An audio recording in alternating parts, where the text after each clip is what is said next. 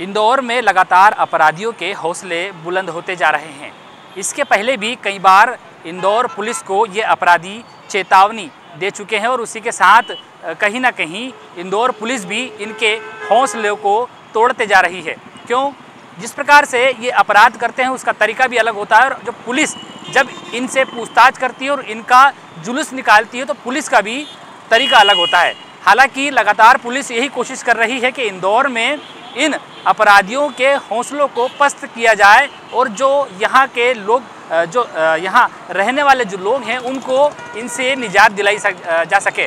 वहीं खजराना में धीरज नगर स्थित जीवन राठौर करके जो एक बदमाश था जिसने तकरीबन 22 तारीख की रात्रि को पुराने विवाद के चलते चाकूबाजी की थी जिसमें जो व्यक्ति था उसकी जान पर बनाई थी। उसके साथ उसके तीन नाबालिग आरोपी भी थे जो अभी पुलिस की गिरफ्त में है। पुलिस ने उसको पकड़ने के बाद जहाँ पर उसका आतंक है, उसी क्षेत्र में ले जाकर उससे उठक बैठक लगवाई थी और उसके बाद वहाँ जितने लोग हैं, सबसे कान पकड़ के माफ़ी भी मंगवाई।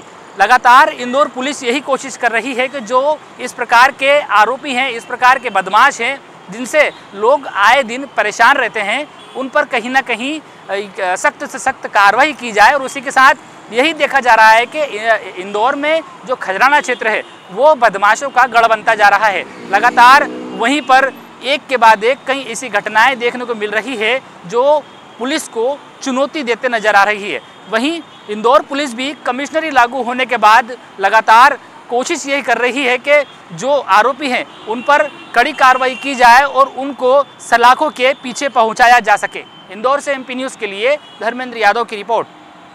एमपी की नब्स एमपी का हाल मध्य प्रदेश की हर खबर एमपी न्यूज़ टीवी के साथ। लगातार खबरों के लिए सब्सक्राइब करें हमारा YouTube channel MP news TV latest updates के लिए बेल आइकन दबाना जरा भी न भूलें।